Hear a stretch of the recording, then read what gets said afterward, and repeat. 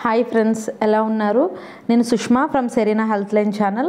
ఈరోజు నేను మీతో పూర్తిగా ఆరోగ్యంగా ఉండాలి అంటే కొన్ని గృహ చిట్కాలని నేను మీతో పంచుకోవాలనుకుంటున్నాను ఫ్రెండ్స్. సో నా వీడియోని ఎవరైతే ఫస్ట్ టైం చూస్తున్నారో తప్పకుండా సబ్స్క్రైబ్ చేసుకోండి. మొదటి నుంచి చివరి వరకు స్కిప్ చేయకుండా చూడండి. నచ్చినట్లయితే లైక్ చేయండి ఫ్రెండ్స్. చాలామంది పొట్టు ఉబ్బరం అనే సమస్యతో బాధపడుతూ ఉంటారు. సో మన వంటింట్లో దొరికే వాము ఉంటుంది కదా ఫ్రెండ్స్ దాన్ని దోరగా వేయించి దాన్ని పొడి చేసి పక్కన పెట్టుకోండి. ప్రతిరోజు మొదటి ముద్దలో ఒక హాఫ్ టీ స్పూన్ వాము వేసుకొని ఆ ముద్దని తిన్నట్లయితే ఈ పొట్ట ఉబ్బరం అనే సమస్య నుంచి బయటపడచ్చు ఫ్రెండ్స్. రెండవ చిట్కాగా చూసినట్లయితే చాలామంది చిన్నపిల్లలు కానీ పెద్దవారు కానీ జలుబుతో చాలా బాధపడుతూ ఉంటారు.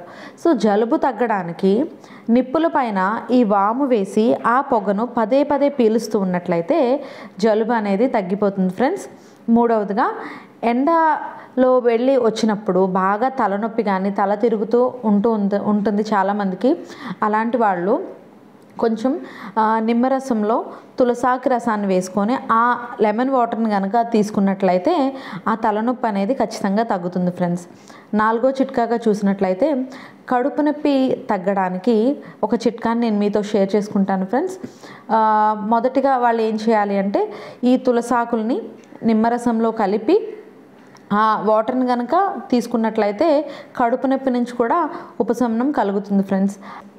ఎవరైతే పొడి దగ్గుతో ఎక్కువ సఫర్ అవుతుంటారో అటువంటి వారు కరక్కాయ ముక్కను బుగ్గలో పెట్టుకొని ఆ రసాన్ని తీసుకుంటూ ఉన్నట్లయితే ఖచ్చితంగా వారికి ఆ పొడి దగ్గు నుంచి విశ్రమం అనేది దొరుకుతుంది ఫ్రెండ్స్. ఇంకొక చిట్కాగా చూసినట్లయితే తేనెటీగ కానీ కందిరీగ కానీ కుట్టినప్పుడు అక్కడ చాలా నొప్పి ఉంటుంది వాపు వస్తుంది కదా ఫ్రెండ్స్.